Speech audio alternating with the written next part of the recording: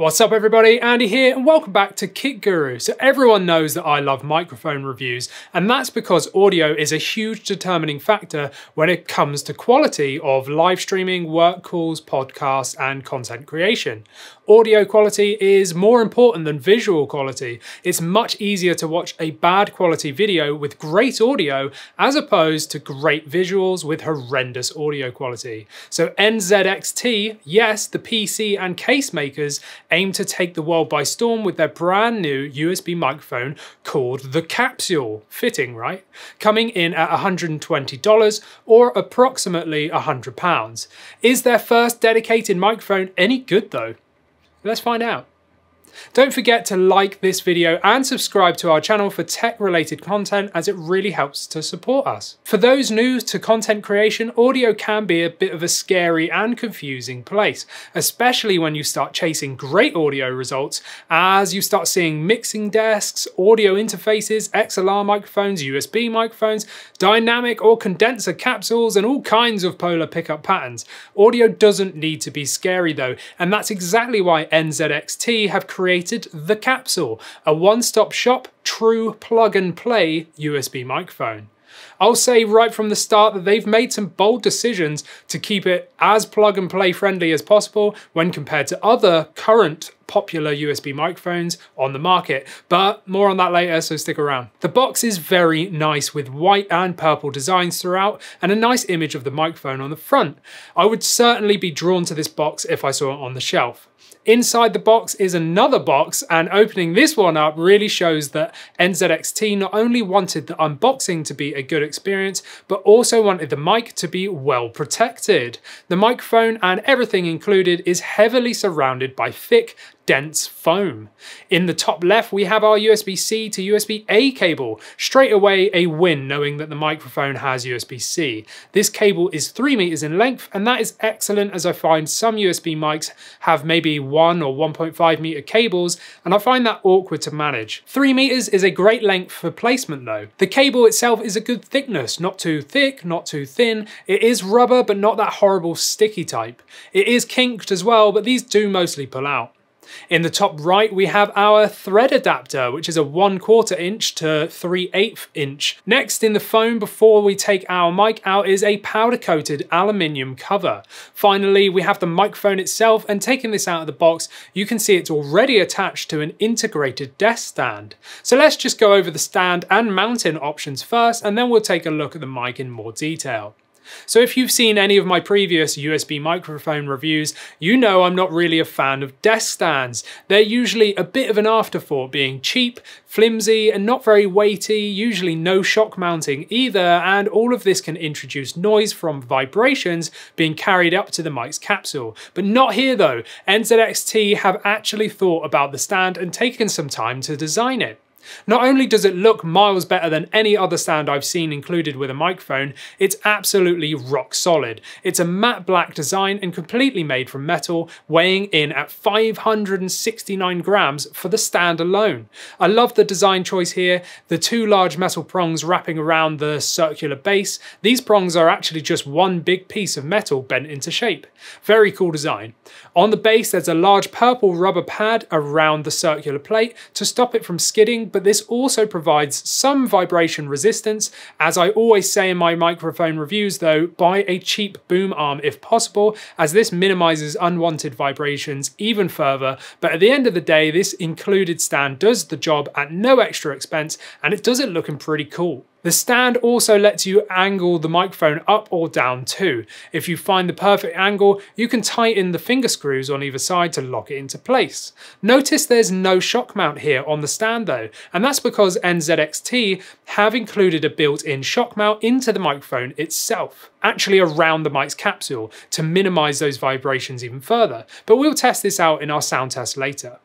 If you do want the extra expense of adding a boom arm to your setup, or maybe you have one anyway, don't worry as NZXT have thought ahead already as well. The threaded adapter included is for this reason and screws into the base of the microphone, but obviously you don't want a huge heavy desk stand floating on your boom arm, do you? Well, luckily NZXT have taken a no-nonsense approach to attaching and removing the desk stand. No tools or anything else are needed. It's a really good quick release system. Simply turn the microphone around and press the button in the middle and pull the microphone out. This works extremely well and really does deserve the title of quick release as it couldn't be any quicker or simpler to do. The same can't be said for reattaching the mic to the stand though. It is easy, but it takes a couple of goes to get it to fit perfectly, as you have to align it perfectly and give it a bit of a wiggle for it to seat in fully.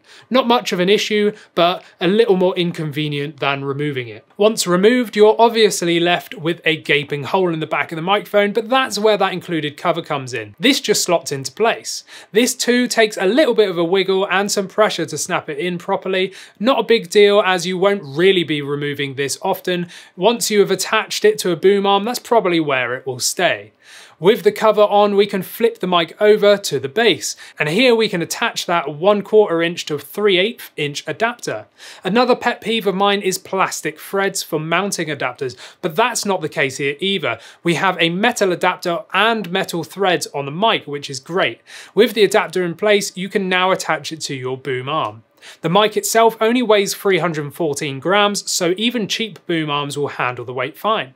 So overall, in terms of the desk stand and mounting options, I'm impressed that NZXT have really thought about form and function here whilst keeping it aesthetically pleasing. The stand is great quality and it looks the part. It's easy to remove, the cover is as nice as the microphone too, and the metal threads which included the thread adapter for boom arms is just a nice touch. So let's just hope that that extra heavy stand with inbuilt shock mount works well though during our tests.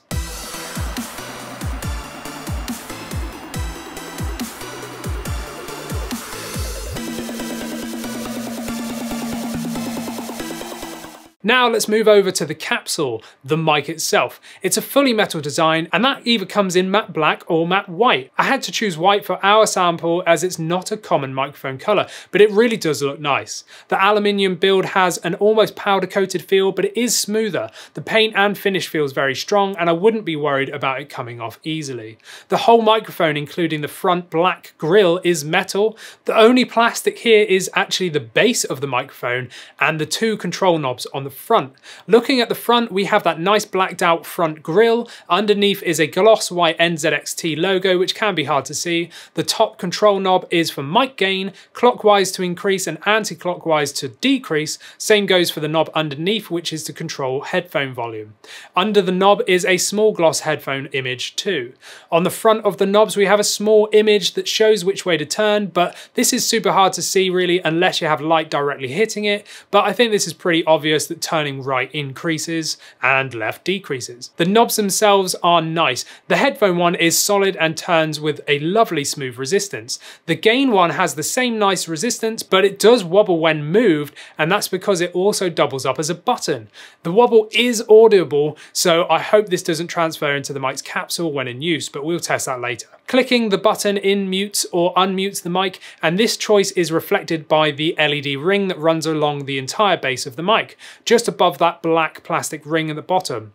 White LED is on and red LED displayed is muted. On the base of the mic, we have our USB-C input along with the 3.5mm headphone out jack. Some of you may have noticed there's no pop filter either, and once again, NZXT have thought about this and instead integrated one into the microphone. So personally, I always find in built pop filters just don't work very well as they're too close to the capsule, but we'll test this out later. Let's go over some specs and I'll explain the type of microphone this is along with the choices NZXT have made for their capsule type and pickup pattern.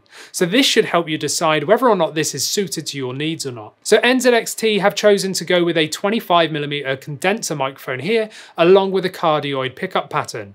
It has a frequency response of 20Hz to 20 kHz and a bit depth and rate of 24-bit 96 kHz. This is a condenser microphone, so the capsule is very sensitive with a wide frequency response. This means that it will pick up almost all sounds from the surrounding area, as opposed to dynamic microphones that are almost the opposite. They reject noise and frequencies, but you need to be very close for the mics to work properly. With the capsule microphone being a condenser mic, if you turn the sensitivity right up, you'll hear PC fans, keyboard noise, and you'll even pick up cars driving outside your house or anything like that, so be aware of what's happening around you. It's all about finding the sweet spot of how close the microphone is to you and how much gain you're using. It also has a cardioid pickup pattern, so this means it will pick up everything in front of the microphone whilst aiming to minimize frequencies behind the capsules. With a wide frequency response, the benefit is great vocal clarity. Condenser microphones are well regarded as the best types of mic for spoken word recordings as they pick up all the frequencies within your voice rather than cutting out the highs and lows like dynamic mics often do. So condenser mics like this one are excellent for single person use, whether that's voiceovers, voice calls, single person live streaming, that kind of thing, but aren't good for things like podcasts where two people are in the same room using two mics. This can cause feedback and echoing. If you're planning on doing a podcast with two people with two mics, then I highly recommend you look for dynamic microphones as used in radio shows instead of condenser mics. So NZXT even specify in their manual that this is for single sound source use only. Let's jump straight into it, shall we, and see how well this microphone performs. Okay, so this is the microphone test for the NZXT capsule. So I am recording in OBS Studio currently, and this is peaking with me talking normally at just over or around minus 10, sometimes going a little bit over that. Generally, when you're recording, you want to be hitting sort of minus 12 area because you can always bring that back up later with a compressor to stop clipping because you don't want to record too hot, otherwise, it will be distorted and horrible and it will just sound rubbish. So it's always better to record a little bit quieter and then boost that up in post afterwards. Obviously, when you're live streaming, you want that to be at the perfect place straight away. I'm about, I don't know, 25 30 centimeters away i do have it angled towards my mouth of course we do have the stand here i'm not using a boom arm like we've talked about because i wanted to see how much that sort of stand would affect vibrations entering the actual microphone capsule inside. So what I'm going to do right now is just do some light tapping on the desk whilst I'm talking so I am just very lightly tapping. I can't hear that through my headphones, but whether or not you'll hear that on the recording is another thing. So I do have headphones plugged directly into the microphone itself. So let's just type, uh, tap sorry, a little bit more whilst I'm not talking. And it is showing on the waveform. So uh, let's just keep going a bit harder. I'm going to keep talking whilst I'm tapping a bit harder. And now I'm going to stop talking. I do have the gain what I would say is probably a little low because I'm trying to hit that sort of minus 10 area. But it could be that you're having the gain a bit higher. There's no actual sort of way of knowing precisely how much gain you're using because it's just sort of a wheel that keeps spinning when you turn it. So there's no sort of indication of how hot or not the microphone actually is until you look in a mixer so you can actually see that sound changing, as a cardioid pickup pattern is meant to deflect sounds from behind it and sort of concentrate on what's in front of it. So what I am going to do now is just type. Let's just type away. So whilst I'm talking, I'm just going to type, hello, this is Kit Guru here, and we hope you enjoy the video. Now I'm going to type whilst not talking. So there you go. You should probably hear that because this is a condenser microphone, not a dynamic microphone, like we've discussed as well. So I am going to do some plosive tests. Now this shouldn't really have any plosive issues because it is a condenser mic and I do have it about 30 centimeters away from my mouth. With a dynamic microphone, you have it right up against your mouth and that can often lead to issues with plosives. But anyway, so let's try Peter Parker picked a pepper because He's Spider Man, apparently, because that's just what I've just told you. So if you hear some plosives there, we will find out when I listen back to this recording. I am quite confident that the built in pop filter shouldn't be an issue. I do have the window open, it's fairly quiet out there, but I am going to now be silent and put the microphone gain to full so that you can hear what it will sound like at maximum gain and you probably hear everything. So uh, I will just do that for you now.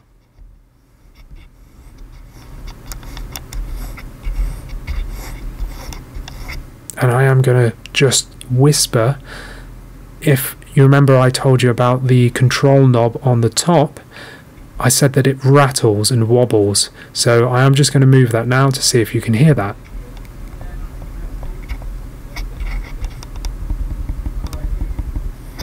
And there's actually people talking outside. You may hear that too.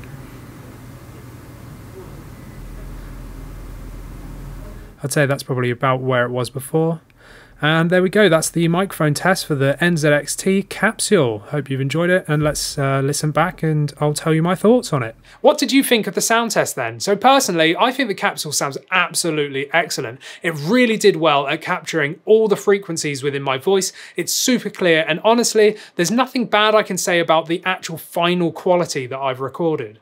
I must admit it was frustrating not knowing exactly how much gain I was using. Instead I had to use OBS's mixer to make sure I wasn't clipping, but once I had it around minus 10 I knew it would be safe and sound good. I'm very happy with the inbuilt pop filter. Of course being about 30 centimeters away helped, but still there were no plosive issues at all. No matter how good a desk stand is, there will always be unwanted noise, but I was tapping consistently and fairly loudly, so I think it did a pretty good job. As always, always, I do recommend using a boom arm to remove further unwanted noise. Keyboard noise was to be expected as it's a condenser microphone too, and of course we did hear the wobble from the gain knob when the gain was high, but honestly, once you've set your gain to the right level, I don't see any need to change this, but that added noise from the knob shouldn't be an issue. At full gain, the mics get very hot and will produce an unusable signal, but that's pretty much the same with any microphone with too much gain going through it. Again, you could hear that this mic with added gain will introduce more unwanted noise, but that's the price you pay for using a condenser microphone. However, if used at the right gain levels, the benefit is that ultra crisp and clear audio quality. I'm glad to see the area that really matters most here performed excellently. Now I wanted to do a quick comparison between the NZXT capsule, Razer's Siren Emote and Elgato's Wave 3 microphones. These all retail for around £100 so I'll play a few seconds of each so hopefully you can hear the difference between them. Starting with the Elgato Wave 3 now. Here's a straight into the PC recording no filters, effects, or EQ, and the gain is set on the mic to 40% as recommended by Elgato. Now moving on to the Razer Siren emote. This is an audio test for the Razer Siren Emote microphone. So I've got the microphone on the extended bass stand here, so it's pretty much at the right level for being angled towards my mouth. And finally, back to the NZXT capsule. Okay, so this is the microphone test for the NZXT capsule. So I am recording in OBS Studio currently. Now personally, I think the NZXT sounds the best, but they've put their whole budget into making the audio as good as possible. Whereas Razer and Elgato have both complicated dedicated softwares for each of their microphones. So the software thing leads me nicely into the fact that I wanted to mention the NZXT capsule doesn't have any whatsoever.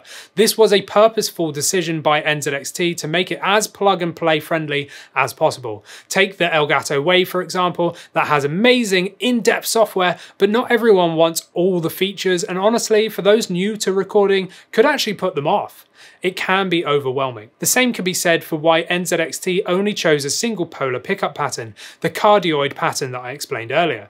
Microphones like the Blue Yeti have multiple pickup patterns and you can choose which one you want to use. However, this can be very confusing for first time users and ultimately many will end up selecting the wrong thing, initially at least. So NZXT wanted to make the perfect plug and play right out of the box microphone for single sound source use. Hence the 25mm cardioid condenser capsule with the cardioid pattern chosen for best speech results. So yes, it is a little basic in terms of operation, but that's exactly how NZXT wants it to be. This is aimed at new creators or those not wanting to faff around too much for good audio results. In conclusion, do I recommend the NZXT capsule? Well, if you're someone that wants instantly good audio just by adjusting the gain level and you don't want to go down the route of mixers, interfaces, XLR microphones, etc., then yes, I highly recommend the NZXT capsule. The aesthetics are beautiful, the build quality is brilliant, setup time is almost non-existent,